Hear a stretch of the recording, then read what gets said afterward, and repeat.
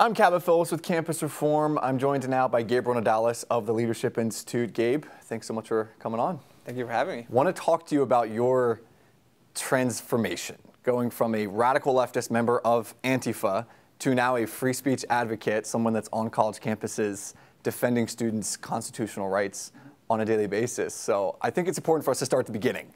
Sure. Uh, your political involvement, what got you involved in politics and led up to you coming to that place in life? Well, you know, before we start that, I really think it's important to mention what Antifa is. Uh, Antifa is not an organization, so a lot of people think it's this group that has meetings. No. Um, Antifa is made up of a lot of different organizations, and Antifa is more of a rally cry. The black mask is more of a uniform where you have a goal and you try to enact it as a, as a, as a group. So unfortunately, what you're left with is a mob mentality. And how did I get involved in politics? It was way back in 2009 when uh, Governor Schwarzenegger was cutting the arts and was cutting funding for schools. And I thought that I should that I should uh, do something about that because I didn't want to have my, my favorite teacher get fired. That's really how it started. But honestly, my radical activism didn't start until 2010 when I refused to stand up for the Pledge of Allegiance. Why was that? Why didn't you stand for the pledge? What was going through your head? At the time, uh, I remember that I didn't believe in America, and I believe that uh, it was basically a fascist nation. So I didn't want to literally be forced to stand up for something I didn't believe. And uh, of course, I got in trouble, but I used the Constitution, which is ironic, to get away with it. Yeah. And so, what, what were your main grievances with the United States? You didn't stand for the, the pledge. Were you being edgy, or was it actually substantive if you said, you know, I don't believe in America, all of these things? What were your grievances? Well, at the time, I remember that there was a lot of government bailouts of banks, and I thought that that was a problem of capitalism. Uh, I didn't understand that that was a form of cronyism, and it was actually a government's fault, not capitalism. And uh, on top of that, there was a lot of other um, things that uh, we were going to war, and I heard all this propaganda about how we were just uh, invading a, a, bunch of different countries for oil, which is all propaganda now I see. And uh, it's just been a lot of different, it was a lot of different things. Yeah. At the time, it was more of uh, things that were out there for me, but it wasn't a, a, defining ideology. Yeah, so some people would say it's radical not to stand up for the Pledge of Allegiance, but that's not as radical as actually going out and joining a group like Antifa. So what led up to that specific involvement? So that, I remember the first time I went to a rally was actually against neo-Nazis. I remember in 2010 they attended Claremont and I went there with a friend and that's how it started. I started going more and more protests and more marches. At some point I even organized some of them. Not organized them as like the whole, but I organized to have a presence there with a lot of people involved. Yeah. So I would uh, recruit people, I would call them and say, hey, who can make it? How do we get to how do we get there? Who can pay for gas? Who has a car? All these different details. I was definitely organizing a lot of um, activists on the left at the time. And so it started with a protest that a lot of people can get behind of something mm-hmm. protesting legitimate neo-nazis. Yeah. and then you talk about how it transitions into protesting so many different people and giving them that label of nazi calling everyone a fascist calling everyone a nazi even when they aren't. What was that transition like? See, the problem, it was very easy for me to go up to somebody holding a, a, a swastika and yell at them. Incredibly simple. Yeah. But then after, when we went to other protests and we did other things, I was just told they're the same. They try to equate some people who were peaceful people who we just had disagreements with, and there's neo-Nazis. So it was more of a transition. Now, if you had told me to go yell at the people who are um, who are peaceful, I would have been like, no, I wouldn't do it but uh, there was a transition that we try to equate all everybody in the same boat as these other hateful people. Yeah, and I think that's a tactic that's still being used right now uh, on the is. far left of saying, okay, if we can get everyone to agree that Nazis are bad, far left or far crazy far right radicals are bad, fascists are bad. Okay, we all agree on that. Yep. Great. Now all we have to do is expand the definition of what we yeah, label is. those things. It is, and it's really easy. I remember, as a matter of fact, once was, I was a conservative. I was at uh, California State University, Los Angeles, and it was uh, near a riot when Ben Shapiro spoke. And I remember talking to a few students out there. You know, as a person of color, I can get away with uh, like talking to the left. I still do that routinely just to hear what they have to say. There was this girl there, and she was a student, and she told me that Ben Shapiro was a neo-Nazi and she that he hated black people and he hated Jews. And I'm like, he's Jewish. And this is the mentality that Antifa and all these organizations have. It's not just that you disagree with them, it's that they are the most hateful person that you can probably think of. and this is why we should protest against them.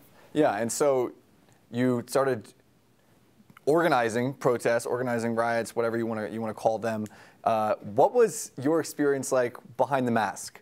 So you're masking up. We see pictures. We have some pictures here on the screen of, of your involvement. What was going through your head when you're looking out at the other side, and, and what was your goal?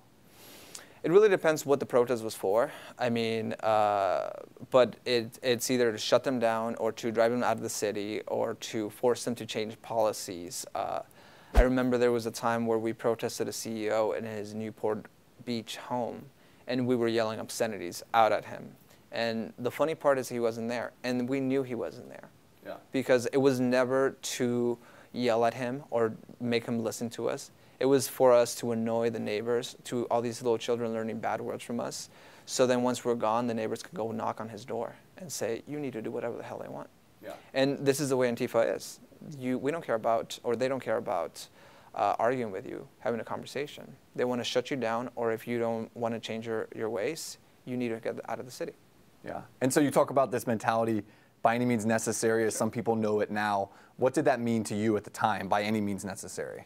Means necessary. Um, it's pretty harsh. At the time, I didn't really think about it uh, in the terms of like open warfare or, you know, even taking up arms. But I, it did allow me to under, or to accept destruction of property. As a matter of fact, I even saw a cop get punched once by one of my friends. And it was just very acceptable for us to, to do this because if they were defending fascists, then they deserve to be punched. And so that didn't bother you? No, it didn't bug me, at the time at least. Because they were equated with fascism in your yeah. mind and any means necessary. I mean, there's this thing that says, like, sure, if um, they're actual Nazis and they're actually trying to kill people, then you have to take up arms. Obviously, a lot of people are not.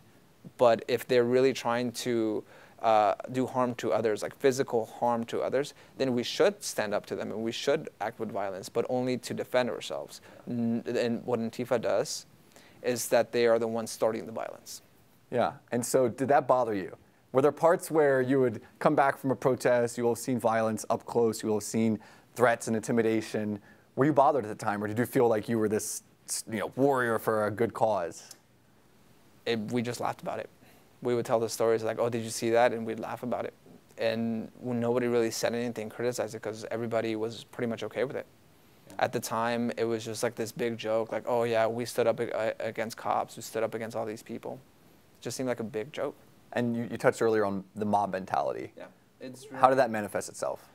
We all we were all just okay with uh, the idea of like tearing. Uh, we were okay with the idea of uh, just destroying property. As a matter of fact, there is a song by Ostraden, which is from this band.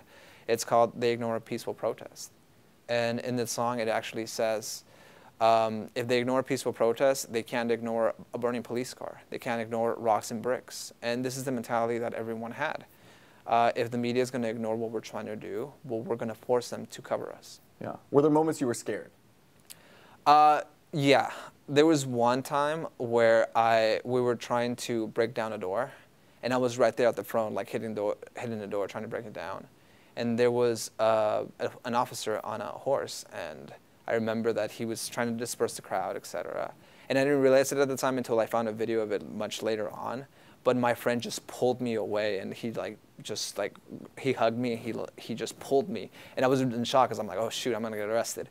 But it was just my friend, and I, I probably would have like been hit by the horse because he was coming pretty fast. So it was looking back. Yeah, looking back, it's one of those things. Uh, you kind of think about those things, and you I don't even know how I did I used to do that stuff. Yeah. And so what led to the change? Were there, were there moments where what were the moments where you started to say maybe this whole crazy Antifa thing isn't for me? What what were those moments like?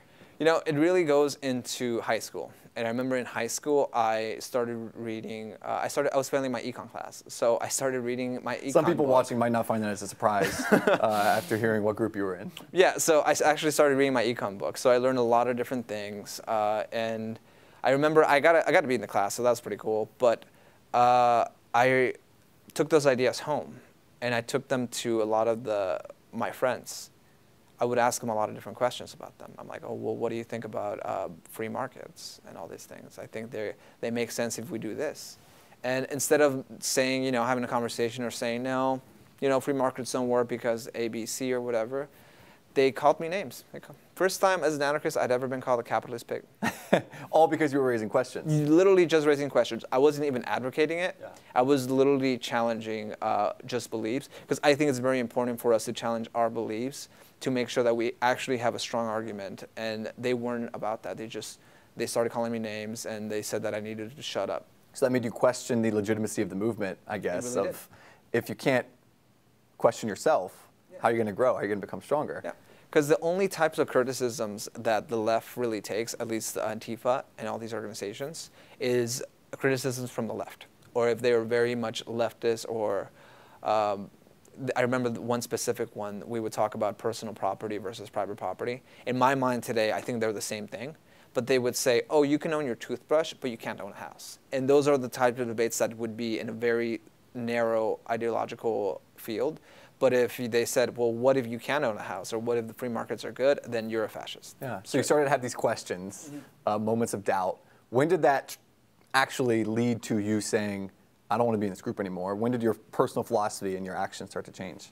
As a matter of fact, uh, I was still left as all into college, and but I started looking into uh, a lot of online resources, and I remember I requested information online, and that's when the Leadership Institute found me um, Adam Weinberg is somebody that I, I still give him a call from time to time and thank him and just see what he's up to. Yeah.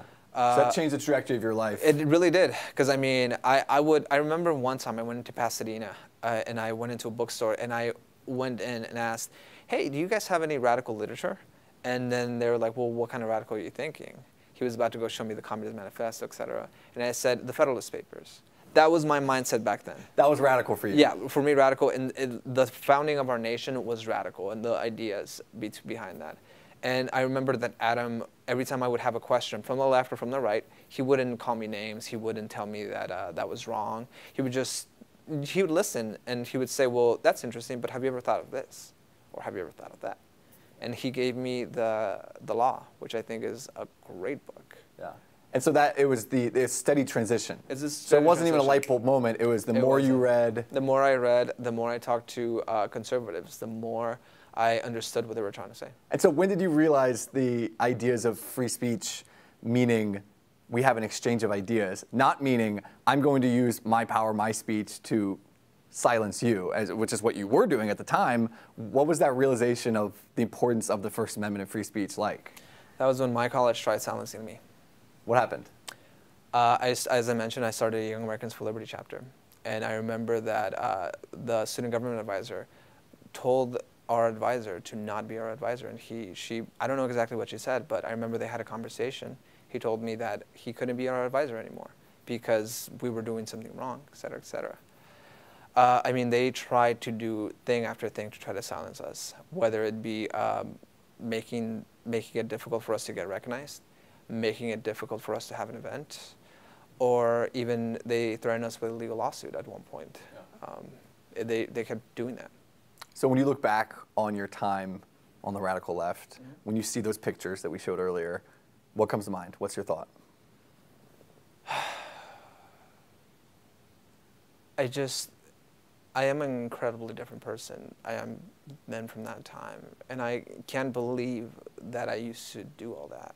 It's it's it doesn't make sense to me why I would take put on a mask and yell obscenity at a person. I don't even cuss nowadays, like at all. Yeah. And like now, I used to do it in front of a, a in, to some random person I didn't know in front of a bunch of children playing on their front yards. Shock factor. Yeah, it just I didn't I don't understand why it would make me do that and be so hateful. Yeah. So that's all in your past now.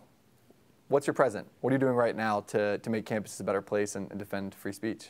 So I'm really happy about what I do now. I, I help conservative students in California and throughout the nation, really.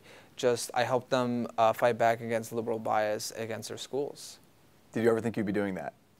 No, there's no way. I mean, I, I at the time I remember when I was in Antifa, I wanted to be a musician. I know how to play multiple instruments, and I wanted to be a music composer and just getting involved into defending conservatives, which is something that at the time I hated. I, I there's no way I, I could ever see myself doing this. Yeah. And so, what's what's the best part of your job? My best part of my job is that multiple times at multiple different universities, small, private, big state schools, and major schools like Berkeley, I've gotten phone calls and I've gotten messages and handwritten letters from students, like just thanking me, saying that they felt scared and they were able to uh, fight back against the bias that they, they face because of what I did and what the Leadership Institute does. What would your message be to high school you before you ever got involved in any of this? What do you wish you could have told yourself then? Just listen. Listen to other people. Don't be so narrow minded. And if you feel that something's wrong or that you have a little bit of a doubt of something, speak out. Because the moment I started speaking out is the, the moment that I realized that my allies weren't my friends. Hmm. All right, we'll leave it there. Gabriel Nadales, thanks so much for this important conversation, hopefully one that people will learn from. And uh, thank you for all the work you're doing right now uh, to make campuses a better place. Thank you. I really appreciate it.